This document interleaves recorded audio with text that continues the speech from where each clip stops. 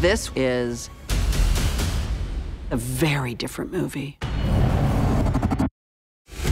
It's called Halloween Kills, and it has to live up to that title.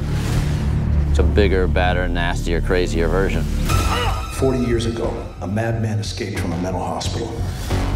The boogeyman is coming for you. This evening, four bodies were discovered. The last movie was Laurie's story. This is the town's story. Laurie, what do we do? We fight. David was really clear that he just wanted to explore the after effects of violence and how it affected Haddonfield. It really does talk about this sort of mob mentality. We're gonna hunt him down and we're gonna put an end to this. This idea of fear, you know, is interesting. Fear is a driver. There's just nonstop action and blood. Evil dies tonight!